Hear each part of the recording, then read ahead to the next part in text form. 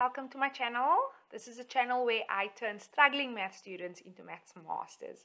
I post videos every Tuesday and Thursday, so be sure to subscribe and turn on the bell to get notified when I post any videos. Okay, so in this video, we're going to look at distance, speed, and time. It's a fairly simple concept, but the idea is to make this even easier so that when you see it, you have the confidence to take on the question.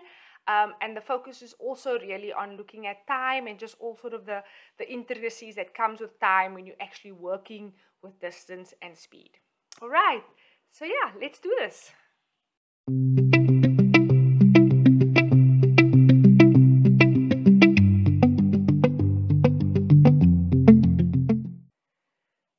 Okay, so in this lesson, like I mentioned, we're going to look at distance, speed, and time. Okay, so I'm really going to focus on the areas that sort of are not as clear cut or not as easy. Okay, so we're going to first start. I like to start at the bare basics so that everybody at least knows what we are doing, and then I will go to sort of the more in depth type of questions. Okay.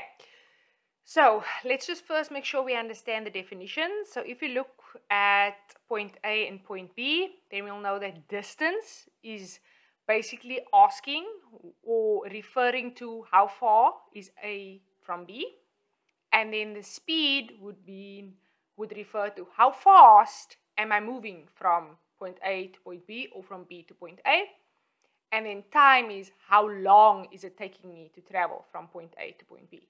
So these are the sort of the definitions that you need to be very clear on before you take on and, and go into the sort of intricacies of the section.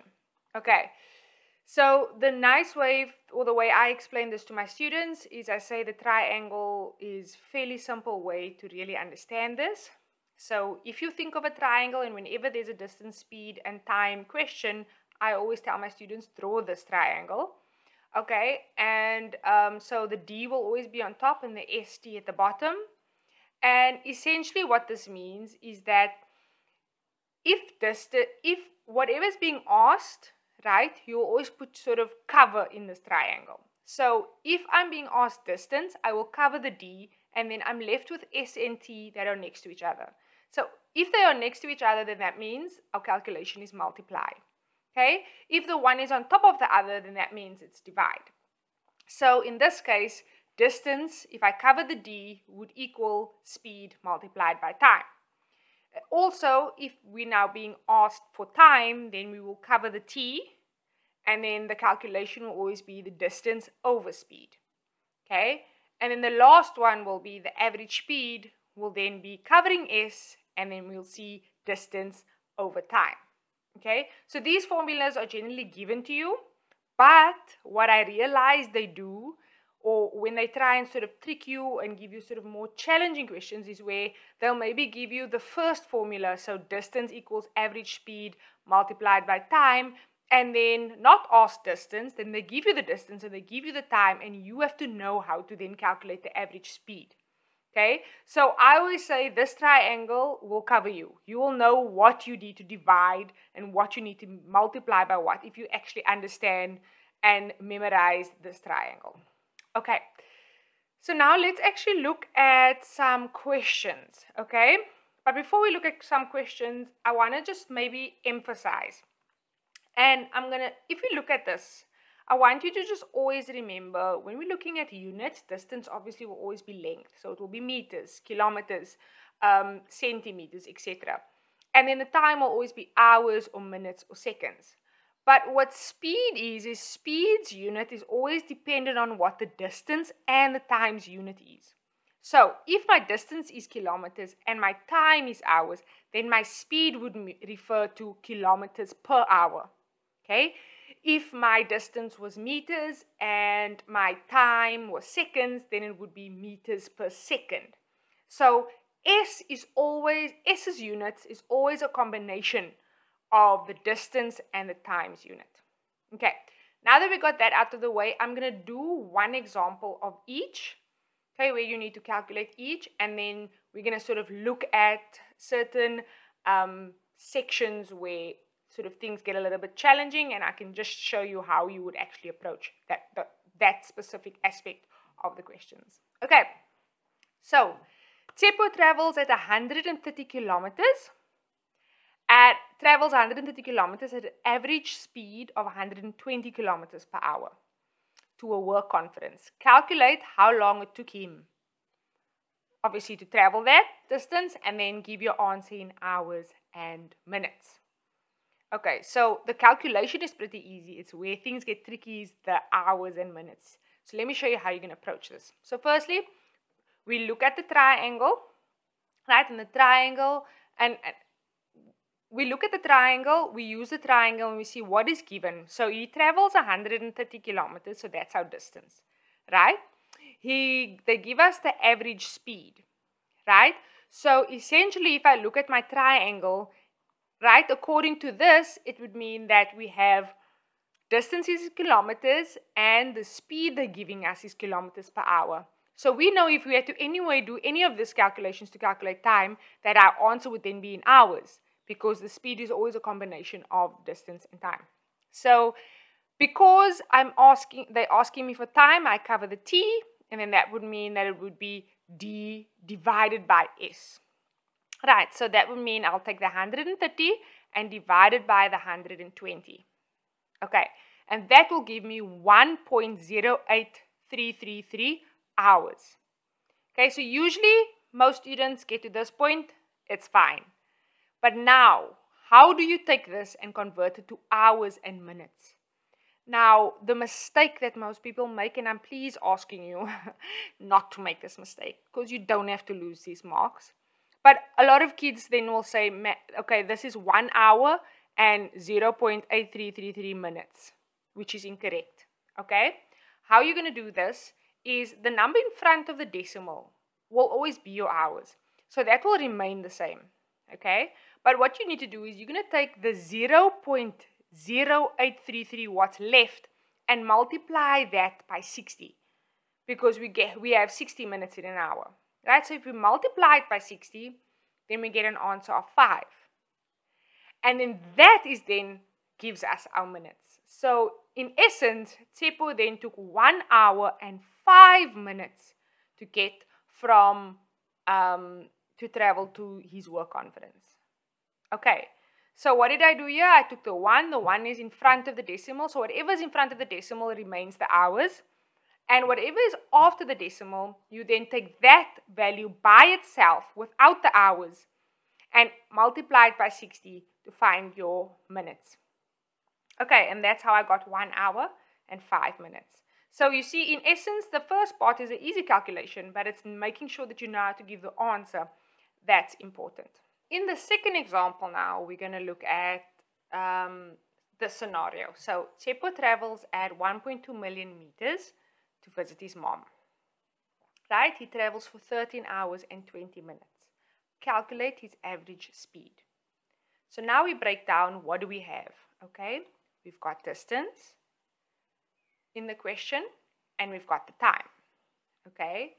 So based on our triangle, that means if we have distance and time, they are asking us to calculate the speed. And how do we calculate the speed? It's the distance over the time. Now, when we're calculating the average speed, you will remember I mentioned that um, the units should be the same. So if I want to calculate the average speed in the unit they're asking, which is kilometers per hour, then that means my distance needs to be in kilometers and my time needs to be in hours. So that's what we're going to do. We are going to convert the distance into kilometers. Okay, so it's divide by 1,000. And if you're not sure why I divide by 1,000 or how to do this conversion, I have a video out on measurements that makes this whole process very easy. Um, it's called conversion. It's got a video called conversions, and I'll link it in the description below. So yeah, have a look at that. But I've now converted the meters to kilometers because they want the speed in kilometers per hour, right? Then I go and I have to convert my 13 hours and 20 minutes into hours. So the 13 is already in hours. So in essence, I just need to convert the 20 minutes to hours.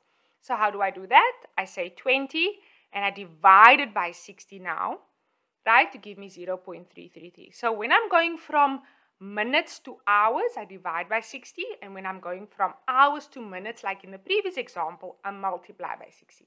Okay? Excuse me. All right, so now if I look, you'll see that my hours is then 13, which is the hours in the question, and then the decimals I'll just apply from when I converted the minutes. So that, all of that is then the total hours. So in order to calculate the speed, I then say 1,200, which is now kilometers, and I divide it by the 13.33333, and I get an answer of an average speed of 90 kilometers per hour. Okay, so that is how you would then calculate the speed. Um, remember, the speed is always the units. It's always a combination of the units of the distance and the time. Okay. Um, yeah, right. So let's move to one last example. So Tsepo, and Tsepo is very busy. As you can tell, Tsepo is traveling very much. so Tsepo works 31.5 kilometers from home. Okay, and start and starts work at half past nine. If he travels at uh, a speed of 75 kilometers per hour and gets to work at exactly 9:30 show whether or not he left home at 9. Okay, so if you look at this question, right, again, we ask ourselves what is given.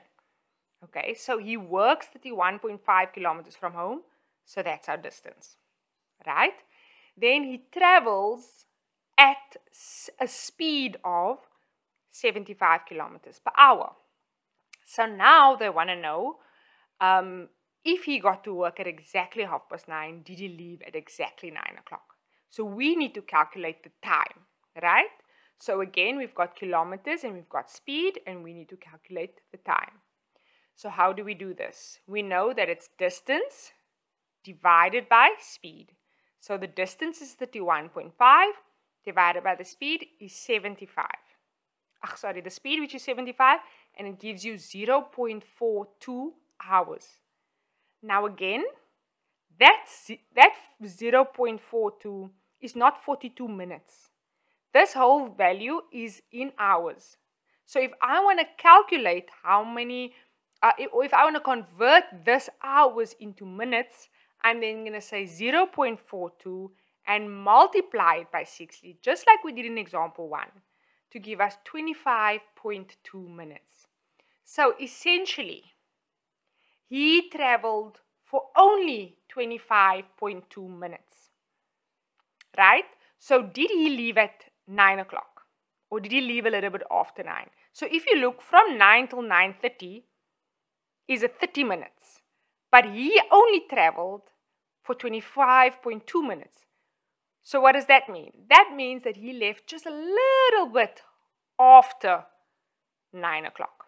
Okay, so an, a way to show this calculation is you'll say if he left home at 9.30, um, sorry, if you got to work at 9.30 and you subtract the 25.2 minutes, then that means he gets home, he left at about 9 o'clock and 0.48 minutes. Okay, so that's just doing the subtraction calculation there. Okay, so I'm saying 30, just the minutes, the 30 minutes minus the 25.2 minutes, which will then give us the 04.8 minutes, which rounded off will then be 9.05. So he left uh, five minutes past nine. He didn't leave at exactly nine o'clock. Okay, so this is just one way where they can take a simple concept and really just sort of spin the question in such a way that you have to answer it and apply what you've answered in, in the way we have in this question. Okay, so let's just give you quickly a recap. Again, we have to know that we use the triangle, the distance on top, and speed and time next to each other. Whatever they're asking, you cover, and then whatever is left, you do the operation. So if they if they're asking distance, you cover the d, and what's left is speed and time, which means you multiply s and t because they're next to each other. If they ask you speed, you cover the speed and what's left is distance over time. And so um, you'll then say distance divided by time. Okay, And that's how you will approach these questions to make sure you know when to add, ach, when to divide, and when to multiply. That being said, also, you have to remember how to convert um, minutes and when something's actually in hours with decimals, how to take that and convert it to hours and minutes. And then if something's in hours and minutes, you have to know how to convert that back into just hours. Okay? And then you have to just make sure that you are always reading the questions properly so that you are actually able to understand what they're asking so that you can apply what you've learned in this video to actually answer the questions that they're asking. Okay. Yeah, best of luck for this section and I hope I made this a little bit easier for you. Alright, so that's the end of the video. Um, I hope that you found it helpful and yeah, if you liked it, please give it a thumbs up. And if you have any questions or if you want me to, you know, make a video on any specific topic, feel free to add it in the comment section below and I'll try my best to make sure that I can make it for you. Um, yeah, and thank you so much for watching and I'll see you in the next video.